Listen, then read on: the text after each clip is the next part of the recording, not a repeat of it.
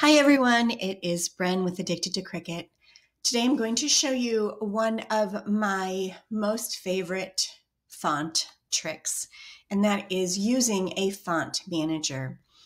I know thinking about a font manager may sound a little daunting, but really it's very easy. Right now I've got up the MainType font manager. It's the High Logic MainType font manager. But I also use another one that's a little bit simpler, and this is it. And it's called the Nexus font. And as you can see, it's a lot easier, um, not so much stuff going on.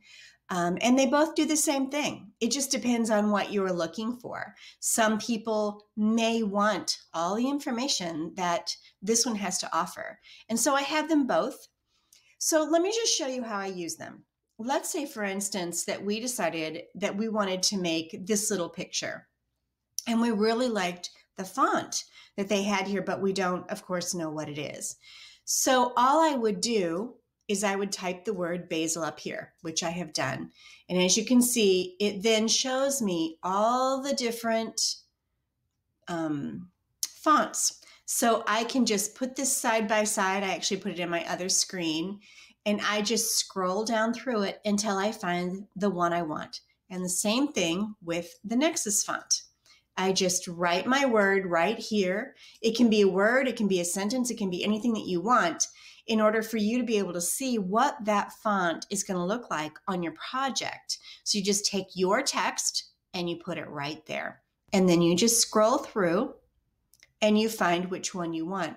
Once you find the font that you want, go back over to um, Cricut Design Space and search for that particular font. Let's see, I kind of like this one. It's not exactly the same, but it's close. So it's autumn and November. Now remember, all of the fonts that are in here are fonts that I already have downloaded to my computer. And so it should also be in Cricut Design, design Space too. So let's go back over here to Cricut Design Space. And let's put the word basil in there, just like that. And then all we have to do is come up here to where it says font, click it, and we can actually uh, search it. Here it is, autumn in November. There we go. So we, of course, would want to put this together a little bit.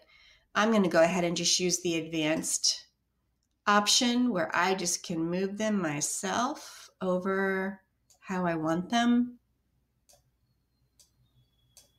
And there you go. They're all combined. Of course, I'm going to want to group them and then I'm going to weld them. And if you haven't seen any of my other tutorials, you probably don't know why. If I weld them, they're all now one piece. Um, if I only group them or attach them, when Cricut goes to cut them, all the cut lines will be in there. And I don't want it. I didn't want this to all cut out fine. Okay, so there you go. That is the reason that we use a font manager because it's so much easier than going through the fonts one by one. Because if you notice, let me type that text in again. If you notice when you come up here and you're going through the fonts, it may say that it looks a certain way, but that doesn't mean that it does. Okay, let me see if I can find a quick. Okay, so that one, the Aloha Luna, didn't look anything like the example that was on Cricut Design Space. So how would I know what it's going to look like? And so that's why I like to use, that one looks pretty much the same. I like to use the font manager because the font manager actually shows me what the font looks like. Now, what happens if you don't find a font in here that you like? You can still go back out and go to font.com you can choose a font that you want, let's say cartoon, who knows. And right here, it says preview. You can once again put in your text. Okay. And just like the font manager, It will then show you the text.